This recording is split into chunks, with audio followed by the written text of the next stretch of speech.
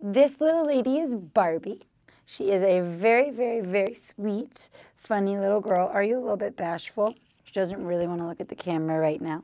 She's listed as a two-year-old Chihuahua mix, although she's got some pretty long little legs, so I don't know if she's quite all Chihuahua.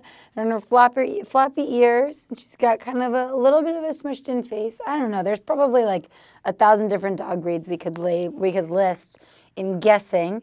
Um, but she's a very sweet girl. She's very dainty. She's a little bit on the shyer side, but she warms up very, very quickly. When she first came in, she took a minute, but she's walking very confidently on a leash now. She immediately got right in my lap. So she's kind of that good pint-sized um, size that you can carry around and take places, but still has longer legs that she would like a nice walk now and then.